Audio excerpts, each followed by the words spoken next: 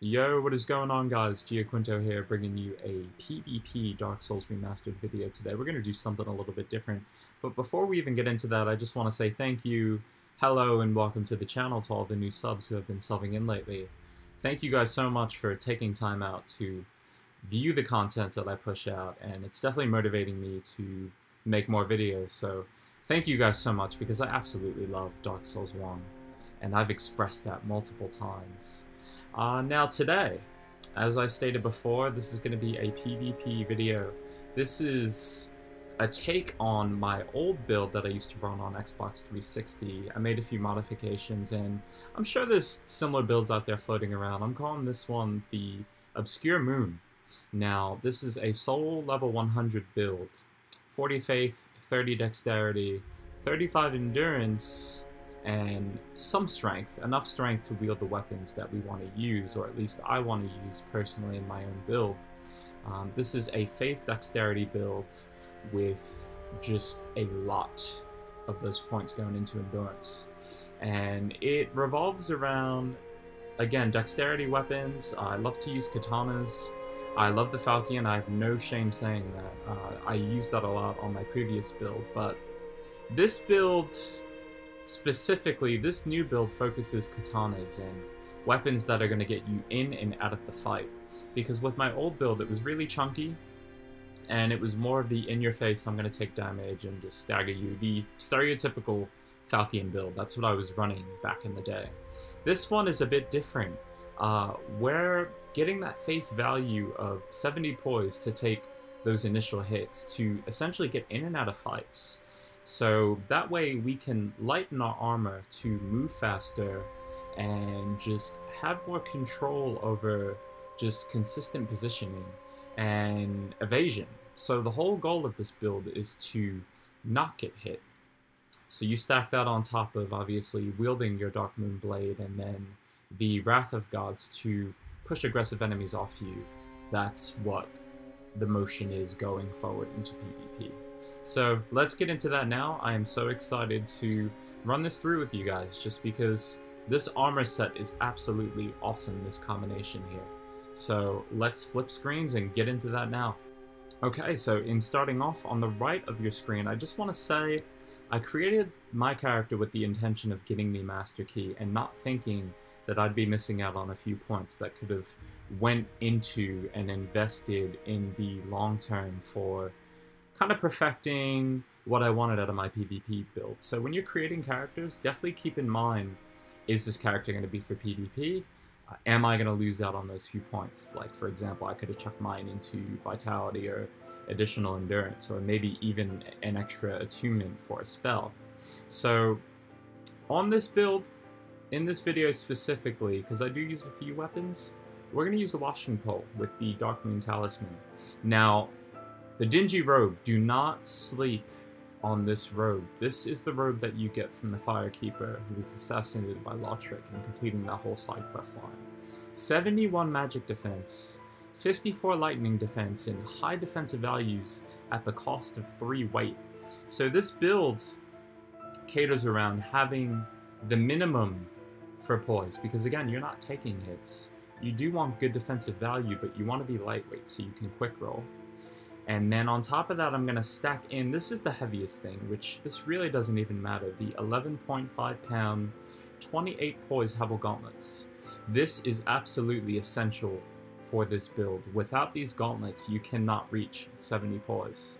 And then the Bloodstained Skirt, which again, it's just something you don't want to sleep on. Not at 2.5 pounds, you do not want to sleep on this. Um, I used to use the Xanthous robes, but in comparison, you're really not losing much, and the robes have 10 fire defense. So you're trading off 10 fire defense for a significant increase, 24 points, putting you at 34.7, and then you're still getting good defensive value. It's not on par with Xanthous, but it's not far off, and it's still lighter. I mean, that's the biggest thing. You look at the amount of weight you can then shift into using heavier weapons, and that's the whole point of having 20 strength with this build, so I can wield the washing pole and at least meet, you know, a semi-heavy threshold for a dex build, to where I can quick roll, still move around pretty pretty swiftly and just get in and out. Do what I need to do. So it's nice to have the washing pole, especially against the heavier enemies because you have that reach. And then Havel's Ring. It would not be possible without Havel's Ring because that is putting me up at 112.5 pounds. And then the Wolf Ring, which is the last thing that is going to get me to that 70 poise. So the 40 on top of the 31 that I already have is putting me at that threshold to take those face hits that initially being under 70 poise you you get staggered up let's face it you know you do run into those weapons that stagger you up and being that this build has low vitality it's it's gg so with all that being said let's jump into the arena. This is more of an arena build. I probably wouldn't use this against you know people who are gang spanking i'm invading you know running around doing the random wild stuff but this has been so just good for me in the arena and you know pulling off win streaks and just getting that consistency. So i'm really happy with where this is going because it's really nice to take a look at my old chunky build and have that alternate option. So with all that being said yeah let's not talk any longer. Let's get into the arena and look at some fights so all these fights are recorded at the time that I'm actually doing the commentary over this video, and I'm not going to go in chronological order because I wanted this fight to be first. This is against a heavy armor user. So even though we're running the Kanye West clothing line armor set, and we're getting this amazing awkward defensive value off that, we're not going to sit here and try and stagger and beat on this guy and take hits. The goal with this build is to be in and out. You want to run around, you want to get the opponent to make the first strike. And there's multiple ways of doing that. Now, if you're familiar with the washing pole, you know that people run and poke in Dark Souls 3. And that's harder to do in this version of Dark Souls, but you still want to resort to it. You still want to use, especially as a lightweight build, you still want to resort to creating the chip damage or creating, like if it's a lightweight user, you would create that initial hit that then chains into you potentially staggering a target.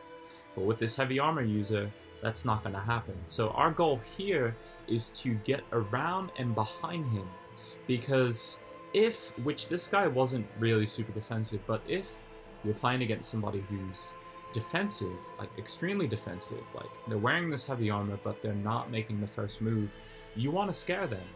You don't want to be stupid, you don't want to rush them from the front, you want to try and get around them. So you mainly want to do that by getting close, and if you're good with dodging, rolling towards the back, or staying unlocked, kind of faking feints and running around them, kind of edging into them. But I always open my fights, especially against the heavy guys, with analyzation. You know, running around and seeing if they're going to be defensive or if they're going to be aggressive. That's the most important thing. So sometimes you might take the L off the first exchange, which, if you're invading, that sucks for you because you just don't. You might not get that second chance to to invade that person, but at least in the arena you have multiple goes. And what I love about this build specifically, being that you only get the one cast on the Darkmoon Blade unless you go through multiple playthroughs, uh, your items refresh, your spells refresh, I, I should say, when you die. So you can just keep replenishing this thing. And that's the whole point of having the 40 faith, so we could take advantage of that. Now, the reason we have the 30 endurance is because when Dark Moon Enchant is down, you still need DPS. So you want your scaling to be of high quality, so that means having a plus 15 weapon to enchant first off. And when that enchant is down, you're still getting that outstanding scaling. It's really important that you do that because you also run into users who will cast magic armor, a great, great barrier, I should be saying, uh, that's the proper spell in which you just cover yourself in that defensive magic force that is going to take something like Dark Moon and really kind of dim it down. So you definitely want to have other options, which luckily with my current weight, I could put on a second weapon, but nothing too heavy because then I sacrifice the light roll for a heavier one in turn. And at that point, once you get into that weight class, you may as well just up your armor as a whole into like the black iron set or just something a little heavier. You know, things that fluctuate into my older build, which I rock the armor of the sun with the Sun Mask from Gwyndolin to get the increased faith damage, but I'll save that for another video. So that was that fight. I just wanted you to kind of watch it as I just kind of talked randomly and not so much commentated everything that was going on and threw everything at you. So now let's get into the next one. So this next fight, we're off to a great start because my controller dies. That's awesome, but luckily Land-Based Waifu was honorable enough to let me boot that back up.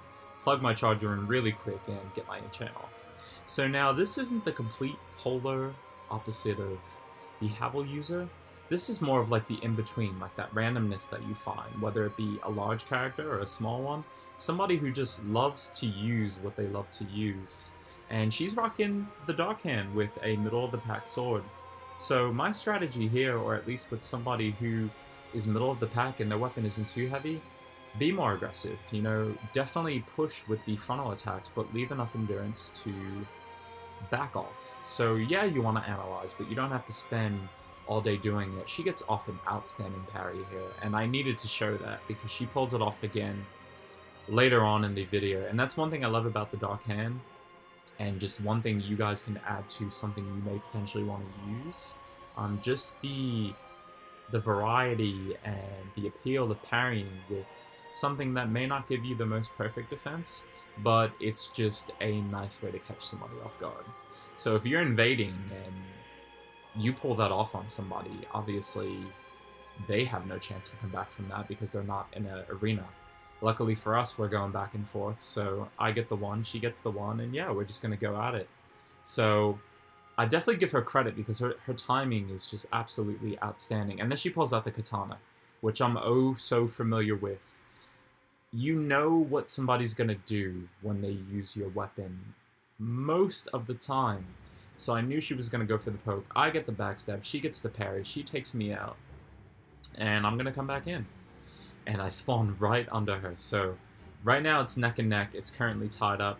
I opened with Wrath to let her know, yo, I have this, just so that way if she wanted to be aggressive with me, she now had that in mind of, oh, you know, if, if I try and be aggressive here, that's the whole reason I bring Wrath of Gods. It's not to spam it, but let the player know, like, if you're going to try and push me, this is what I got.